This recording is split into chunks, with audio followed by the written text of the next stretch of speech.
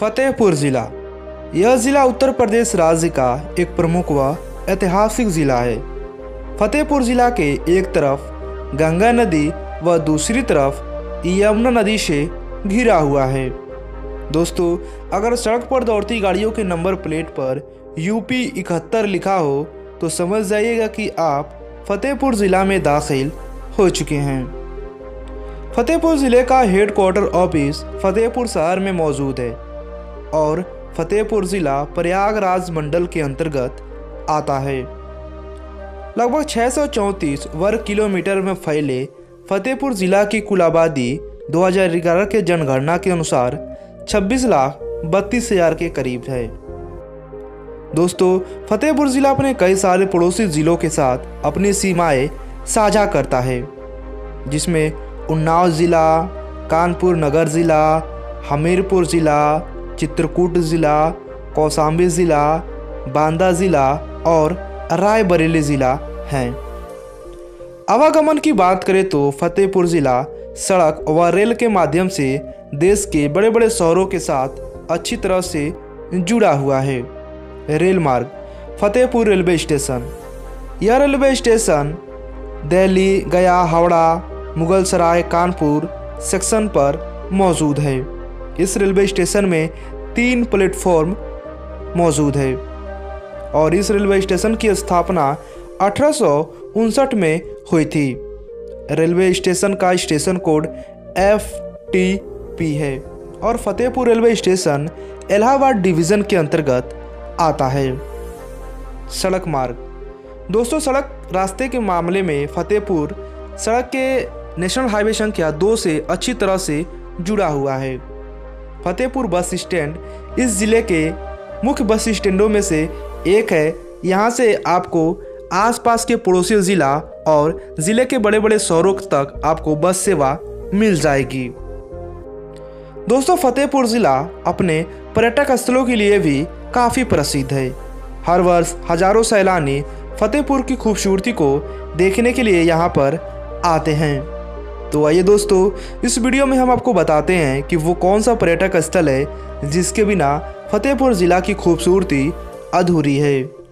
Number one Hazari लाल का फाटक। 1942 में अंग्रेज़ों को भगाने के लिए किए गए भारत छोड़ो आंदोलन का मुख्य केंद्र बिंदु इसी शहर के चौक स्थित हजारी लाल का फाटक था, जिसमें बलिया के कर्नल भगवान सिंह ने 800 देशभक्त फौजियों के साथ इसी स्थान पर कमान संभाली थी। हजारी लाल फाटक तभी से जो है, वो चर्चा में रहता है। नंबर दो, बादशाही बाग। सोलह ईस्वी में मुगल बादशाह औरंगज़ेब ने अपने भाई शाह सूजा के साथ युद्ध करने का फैसला किया था, जिसमें कि औरंगज़ेब ने अपने भाई को पराजित कर दिया था। इस खुशी में उन्होंने यहाँ पर विशाल उत्थान का निर्माण कराया। इस उत्थान को बादशाही बाग के नाम से भी जाना जाता है। नंबर तीन, बिंदकी। ज़िला मुख्यालय से लगभग 15 किलोमीटर दूर स्थित एक शहर है, बिंदकी शहर। इस शहर का नाम यहाँ के राजा बेनुकी के नाम पर पड़ा है। शहीद जोधा सिंह अटैया और हिंदी साहित्य के महान कवि सोहनलाल द्विवेदी का जन्म इसी बिंदिका में हुआ था। दोस्तों, अगर आप उत्तर प्रदेश के प्राइमरी स्कूल में पढ़े होंगे तो यहाँ पर जो है, एक बहुत ही अच्छा पोयम था कि सबसे मीठे मीठे बोल। इसका जो रचयिता थे, वो यही सोहन लाल द्विवेदी थे, जिनका जन्म स्थान इसी बिंदकी में मौजूद है। नंबर चार, तेंदुकी। यह एक प्रकार का गाँव है, जो कि चौडहरा बिंदकी मार्ग पर स्थित है।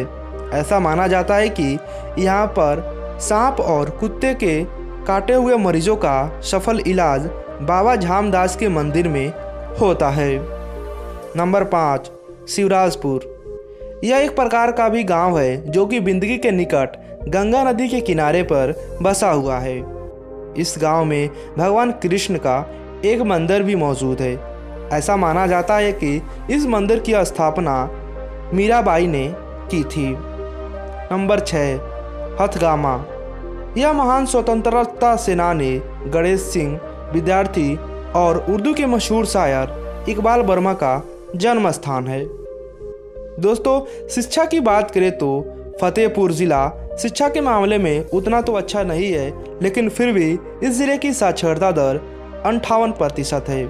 यानी कि फतेहपुर ज़िला के अंठावन प्रतिशत जो लोग हैं, वो पढ़े लिखे हैं। जिसमें कि पुरुष व महिला दोनों शामिल है। Nivedika Singh girls college, Mahatma Gandhi PG college, Thakur Yuvraj Singh महाविद्यालय, किरण सिंह महाविद्यालय, ये सभी स्कूल व कॉलेज इसी फतेहपुर ज़िला में मौजूद हैं। दोस्तों, फतेहपुर ज़िला में तीन तहसील व छः विधानसभा मौजूद हैं, जिसमें तीन तहसीलों में फतेहपुर, बिंदकी और खागा। और छः विधानसभा में जहानाबाद, बिंदकी, सदर, अयासा, हुसैनगंज और खागा मौजूद हैं।